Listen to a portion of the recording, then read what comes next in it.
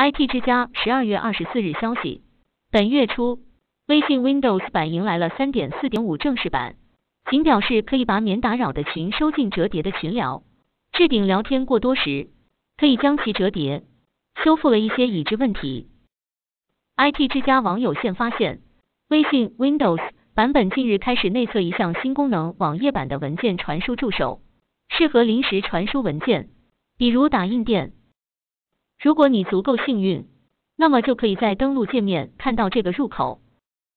据称，它目前使用的版本是 Windows 客户端正式版三点四点五点二七，也就是说不需要最新版本也可以使用。首先打开 Windows。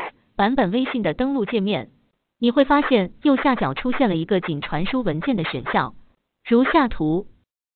点击该按钮后跳转到网页，然后是常规的扫码登录微信账号，如下图。当你用手机扫码时，手机端界面显示正在打开网页版文件传输助手，你这时可选择打开或取消打开，毕竟被其他不法分子利用。众所周知。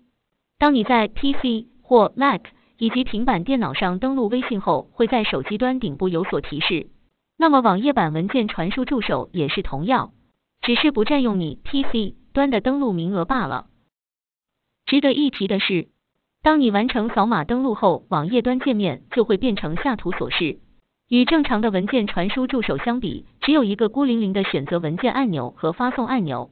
这时你可以通过 PC。浏览器与手机进行文件传输，简单快捷，但相比 PC 版功能较简单，仅适合部分场景使用。